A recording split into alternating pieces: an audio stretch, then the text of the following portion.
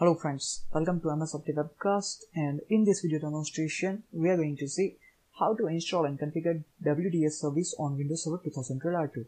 So for this demonstration I'm using this Oracle VirtualBox VM and in this VM already I installed Active Directory domain service and uh, we have a working DNS as well as we have a DHCP server.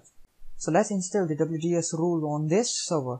So to do that just click on add roles and features on before you begin page click on next on uh, select installation type page select role piece or feature based installation and then click on next. On select destination server select the local server. Mm, that is our uh, this VM srdfndc01.mylab.local and the IP address is 192.168.49.1 click on next.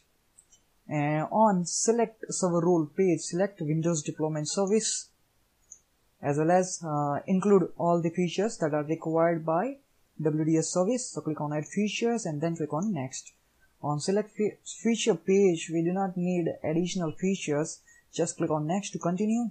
Now this is the brief overview information about the WDS service. So there's a requirement over there. The WDS service requires that DHCP and DNS service are available on your network and the transport server does not require any additional tools and services. So click on next on uh, WDS page and on select role service select both deployment server as well as transport server. Then click on next and on confirm installation select send page click on install to start the installation. And that's it. Installation succeeded on this local server. Click on close to close this installation wizard and uh, click on tools open windows deployment service management console and expand servers.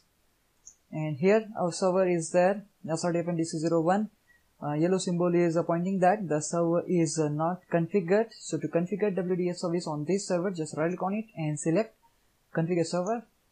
Here is a list of prerequisites that's uh, required by WDS service. Uh, the server is member of Active Directory domain service or the domain controller itself. And uh, if you are going for a standalone mode that time Active Directory is not necessary there's an active DHCP server on our network because the PXE which relies on DHCP for IP addressing. And there is an active DNS server. Uh, we have a DNS server and this server has an NTFS file system partition on which we are going to store the installation images. So click on next to continue and we are going for integrated with Active Directory WDS that's why select first box and click on next. Now where you are planning to store the installation image so by default the path is C colon slash remote installation but for this demonstration I already created one partition that is E drive and we want to store the installation image on E drive. So let's specify this location E colon slash remote install that is the folder name where we are planning to store the uh, install image and boot image. So click on next to continue and if the DHCP server is running on this server, check both of the following checkboxes and use the DHCP tool to add appropriate PXE options. Now let's open the DHCP management console. Here's the DHCP management console and let's expand the uh, scope options.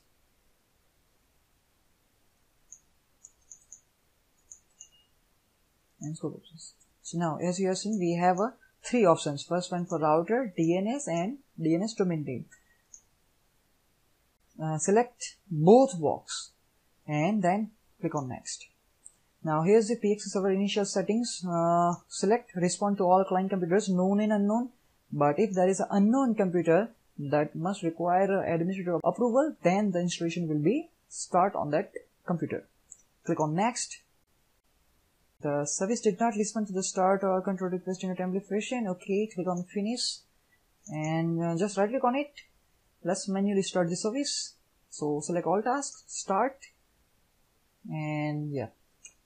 So now if we see first on a E drive we have a folder remote install and under that we have a boot image management store template folders are there. Okay. And on DHCP just right click on it and select refresh. Okay. Doesn't no changes. Uh, under server options click on refresh okay.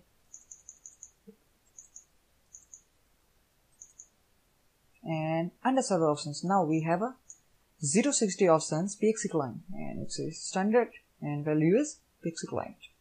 Okay, so let's come back on our uh, WDS server. And here's the options for install image and boot image. Okay, so let's add uh, one uh, image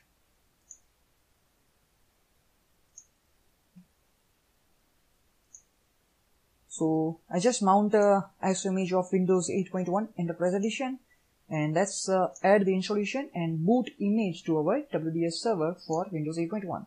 First we are going to add boot image and to add a boot image just right click on it, select add boot image and the browse the location and it say in uh, DVD that is under source folder. Okay so click on browse, uh, browse the uh, DVD tab under source here is the boot.wim file. Okay so boot.wim click on next. And here I want to specify Windows 8.1 setup. 8.1 setup. Okay click on next. Next. And this will upload the boot image to our WDS server. Okay the selected image was successfully added to the server. Click on finish. And here you can see your image name is there. Microsoft Windows 8.1 setup and let's add an installation image. So let's add install image. I'll specify the name. I want to specify the name Windows client group. Click on next. Click on browse and select install.wim file. Click on next. And here we have a Windows 8.1 enterprise image. There's a single image but suppose if you have an all-in-one image that time all image will be displayed over here. Click on next. Next. And this will take some time to upload the install image to our server. And that's it, the operation is complete. The selected image was successfully added to the server. And here we go.